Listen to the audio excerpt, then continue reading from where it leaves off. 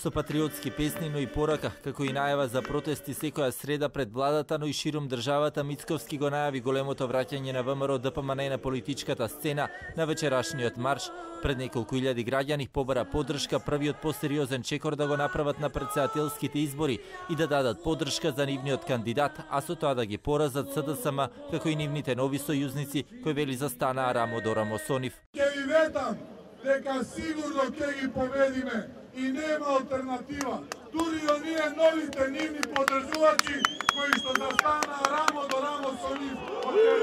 Мицковски пред своите сопартици не пропушти прилика да го впери прстот кон актуелната влада за како што рече погубните економски политики, селективната правда за која исто така ја обвини владачката гарнитура од Илинденска, како и неажурното работење на институциите.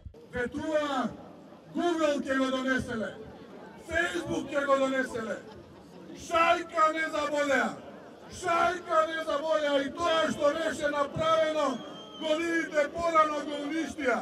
Не можат ни тоа да го искречат, а така камоли па нешто да донесат. Протестниот марш на најголемата опозицијска партија почна од пред плоштадот кај Белата палата, а подоцна симпатизерите и сопартиците на чело со Мицковски се упатија на кај влада.